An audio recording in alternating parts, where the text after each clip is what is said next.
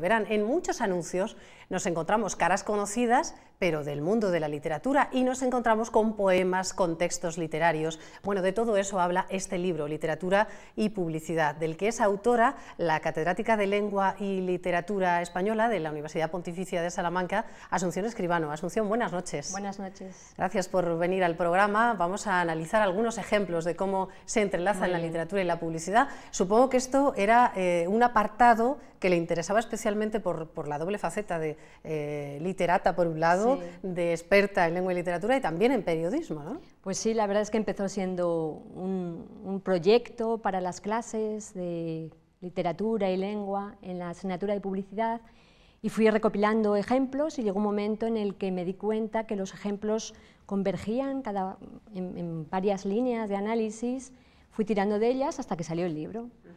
Bueno, y un libro muy completo, como este que nos encontramos, con muchísimos ejemplos, nosotros tendremos tiempo de ver eh, solamente algunos. Lo que es obvio es que el libro da prestigio, ¿no? Cuando alguien quiere vender algo y detrás tiene una estantería con libros, o sale un escritor y lo cuenta, eso eh, prestigia la marca, ¿no? Prestigia la marca y acaba vendiendo, a pesar de que decimos que vivimos en un mundo donde la gente no lee, es curioso que al final marcas de todo tipo y de productos de todo tipo venden con el libro. Así que algo debe tener el libro. Yo que sé, hombre, a fin de cuentas las marcas eh, buscan vender a largo plazo, pero buscan limpiar mucho su imagen, cuidar mucho su imagen, prestigiar la imagen, y eso sí, sí que se hace con los libros. Y nos decía Asunción que, todo tipo de productos, por ejemplo, se puede vender un coche, ahora lo veremos, con, un texto literario, pero, pero cosas de lo más variopinto, ¿no? Bueno, de todo tipo, ¿eh? desde ropa, collares, pulseras, cualquier tipo de, de objeto queda prestigiado cuando va al lado de un libro, de una estantería, de un escritor o de una cita literaria. No son pocos los escritores que han dicho, bueno, y además yo salgo y pongo mi cara para un producto, ¿no? Pues son bastantes. Curiosamente tenemos el caso de Cela, que en la guía CAMSA estuvo durante bastante tiempo publicitando, hombre, un, escritor que sabía mucho de viajes, que había escrito mucho de viajes y por tanto era una referencia muy interesante para, un libro que, que, vendía también el viaje. Pero escritores de todo tipo, ¿eh? escritores, muchos poetas, venden productos de todo tipo. un poeta vendiendo un producto hace un tiempo quizás sería impensable. Bueno, y productos, por ejemplo, Brandis, eh, con imágenes como Luis Antonio de Villena, eh, un escritor muy concreto, un poeta que no es la estética esa del macho tradicional que, bebe el brandy. Hombre, también los objetos buscan nuevos, nuevos compradores, entonces también buscan nuevas imágenes de escritores que, que fortalezcan eh, ese, ese, público al que van a dirigirse. Bueno, vamos a ver algunos de, estos anuncios. Quizá tengan en su mente, en su retina, el recuerdo de este que vamos a ver a continuación, que es un anuncio de un coche y que tiene nada menos que un texto del gran Cortázar. Es en esto. Cuando te regalan un reloj, te regalan un pequeño infierno florido, una cadena de rosas, un calabozo de aire te regalan algo que es tuyo pero no es tu cuerpo, que hay que atar a tu cuerpo con su correa, como un bracito desesperado colgándose de tu muñeca. Te regalan la necesidad de darle cuerda todos los días. Te regalan, no lo saben, lo terrible es que no lo saben. Te regalan el miedo de perderlo, de que te lo roben, de que se te caiga al suelo y se rompa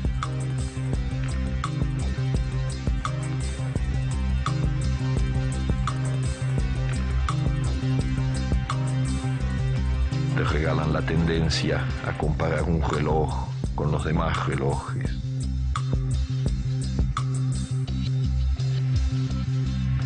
No te regalan un reloj, tú eres el regalado. Texto tan precioso. La verdad es que cuando lo vimos en televisión, este anuncio, no sabíamos muy bien qué pensar, a los que nos gusta Cortázar, decir, bueno, lo han destrozado, ¿qué han hecho? Además es la propia voz del escritor. Es la voz del escritor, eh, yo creo que es, genial el anuncio, ¿eh?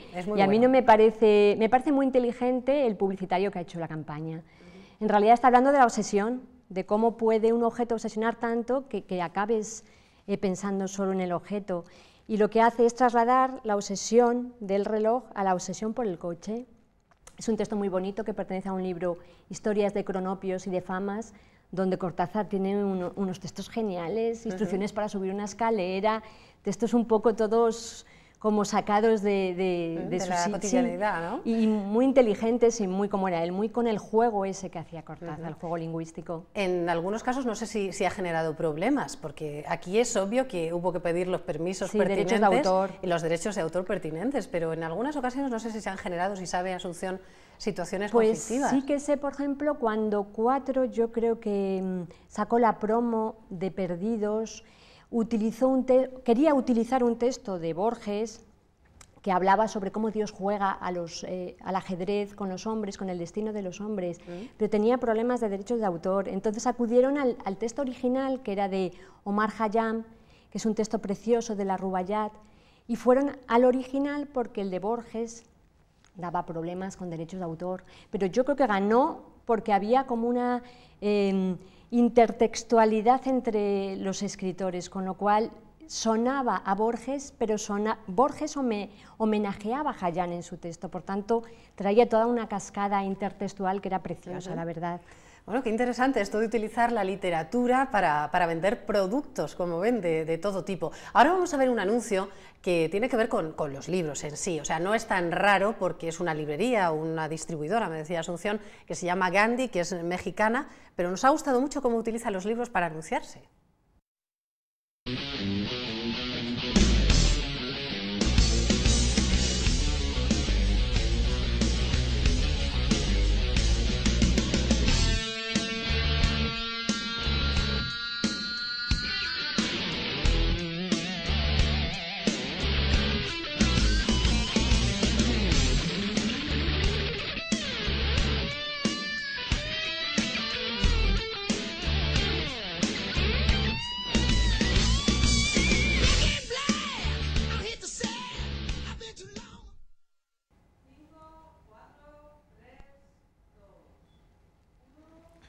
Cuánto ingenio entre los creativos, en este caso los nombres de los escritores con esa música de rock de fondo, llegando, supongo, a un público mucho más juvenil. Con la imagen de los discos de los eh, músicos originales. Bueno, Gandhi es una cadena de librerías mexicana y tiene muchísimos premios de publicidad porque todos los años hace, cada año hace una campaña eh, que utiliza referencias literarias de todo tipo. Y entonces ese año se hacen los separalecturas, las bolsas de Gandhi, y cada año tiene una serie de, iconos literarios utilizados en sus campañas y lleva yo creo que ya 10 años y ganando los premios más prestigiosos en Hispanoamérica. ¿eh? Estamos eh, ya quizá acostumbrados a que los vendedores de cualquier cosa utilicen textos literarios o nombres de autores o a los propios autores. Pero ¿y qué pasa al revés? La literatura mm, eh, como vehículo para enseñar un producto también existe, ¿no? Claro, también existe.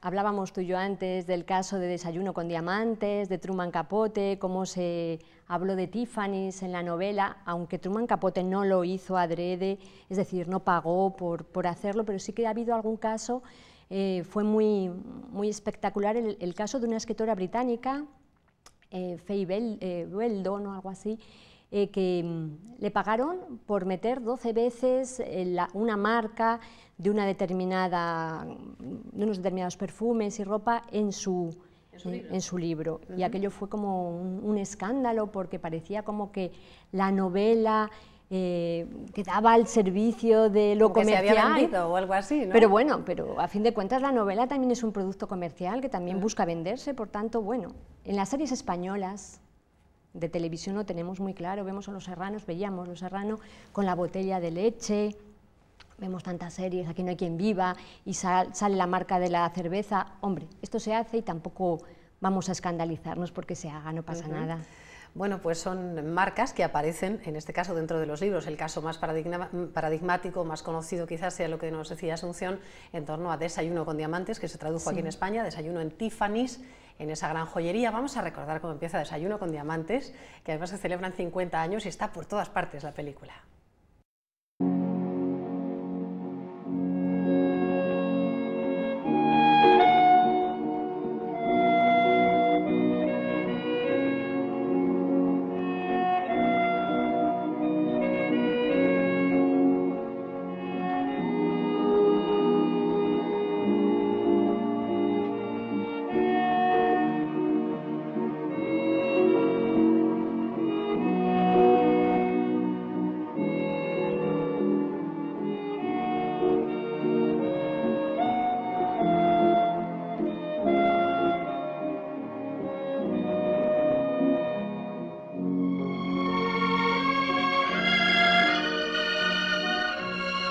Ahí tenemos el principio de la película, que es preciosa, y el momento en el que Audrey Hepburn se asoma a ese escaparate de Tiffany's, ¿no? Una delicia de, película, la verdad. Esta es la película sobre el libro de Truman Capote, como estábamos contando, que yo siempre había creído que de alguna manera se habría beneficiado de hacer publicidad de la marca, ¿no?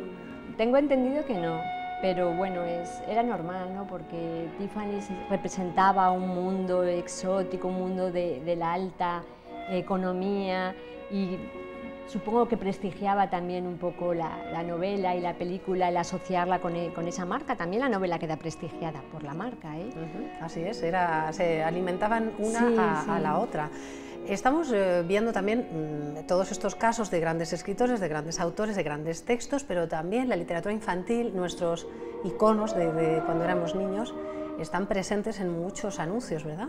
Pues eh, los cuentos clásicos, Caperucita, bueno, Caperucita está utilizada en una cantidad tan exagerada de anuncios, Blancanieves, Cenicienta, Pinocho, bueno, todos, prácticamente todos. Caperucita en, anuncios de, perfumes, bueno, en anuncio de, perfumes, en anuncio de ropa, en anuncio de lencería y curiosamente muchas veces los anuncios eh, rompen un poco con la imagen tradicional de, esas niñas candorosas, con la moralidad, con eh, esa moral final de ten cuidado porque si no te portas bien el lobo te va a comer.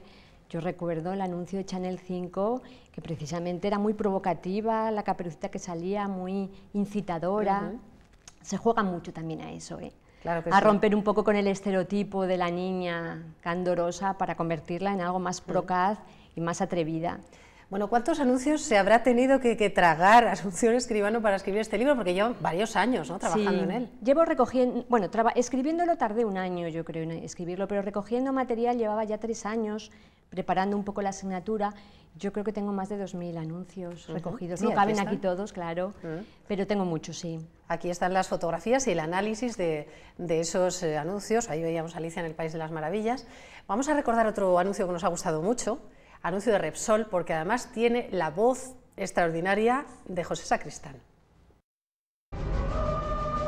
Si puedes mantener la cabeza sobre los hombros cuando otros la pierden y te cargan su culpa, si confías en ti mismo aun cuando todos de ti dudan, pero aún así tomas en cuenta sus dudas, si puedes soñar y no hacer de tus sueños tu guía, si puedes pensar sin hacer de tus pensamientos tu meta, si triunfo y derrota se cruzan en tu camino y tratas de igual manera a ambos impostores, si puedes hacer un montón con todas tus victorias, si puedes arrojarlas al capricho del azar y perder, y remontarte de nuevo a tus comienzos sin que salga de tus labios una queja, si logras que tus nervios y el corazón sean tu fiel compañero, y resistir, aunque tus fuerzas se vean menguadas, con la única ayuda de la voluntad que dice, adelante.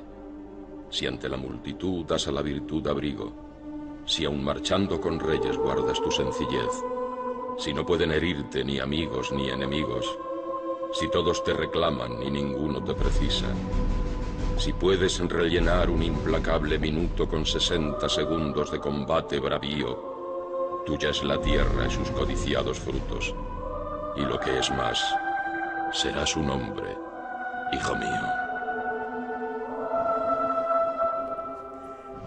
Bueno, ¿quién iba a pensar que en un momento dado iba a echar gasolina y iba a acordar de un poema tan hermoso como este, que yo realmente no sabía de quién era y lo recordé ayer buscando esta, esta información, ¿no?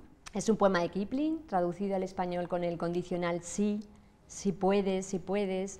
Es precioso porque además está muy bien utilizado. La verdad es que estas campañas están quien está detrás de ellas las tiene muy bien trabajadas. En realidad el poema habla de, los extremos, el hombre que es capaz de cuando tiene triunfos y cuando tiene derrotas comportarse siempre con, la misma actitud equilibrada, estable. Ese equilibrio realmente es el del campeón, aquella persona, las imágenes son imágenes de motoristas, de, gente que, conduce coches, caídas, premios, el poema es precioso, es de, ya digo, es de Kipling y está muy bien utilizado. La verdad es que para vender ese producto en concreto, que quien, quien, quien vende la marca vende eso, el equilibrio, la emoción, la estabilidad emocional. La verdad es que sí, bueno, y luego con esa voz de José Sacristán que te puede vender. Es una delicia. un papel en blanco que te, se lo Seguro, se lo compramos. Bueno, eh, estamos eh, también viendo cómo la literatura y el periodismo están cada vez más cerca y la literatura y la publicidad parece que cada vez también más, ¿no? En este tiempo que lleva analizando los anuncios, ¿ha visto que crece esta tendencia? Sí, yo he notado que las facultades de comunicación tienen titulaciones de publicidad. Hay anuncios que es dificilísimo que los haya hecho alguien que no tenga una formación literaria muy fuerte. Eh, anuncios que dices, hombre, ¿cómo habrán llegado a este, a este texto? Me acuerdo ahora un corto de, Prada, de la colonia Prada, hecho sobre unos textos rarísimos, eh, unos textos que se han descubierto hace unos años, los textos de Nahamadi, que hablan de una antigua diosa que representa los, también los modelos distintos de mujer, la mujer eh, frágil, la mujer fuerte, y se utiliza precisamente para vender la marca Prada. El ah. publicitario tiene que tener una formación literaria. Para haber conseguido llegar a ese texto, es un texto difícil, es un texto que no está al alcance de la mano de cualquiera. Yo imagino que aquí sí que se nota que las, que las facultades eh, de publicidad pues, están sacando ya, ahora ya graduados, eh, antes licenciados con formación humanística amplia, y entonces eso se nota en los anuncios. Pues qué suerte tienen los alumnos en este caso de Asunción, de, Yo poder tener de cerca eh, toda esta información de una experta, eh, además escritora también, no olvidemos esa faceta, escritora, profesora y en este caso analista también de la, de la publicidad, en este libro, Literatura y Publicidad, que hoy hemos querido comentar con su autora. Muchas gracias por haber venido esta noche al programa. Muchísimas gracias a vosotros.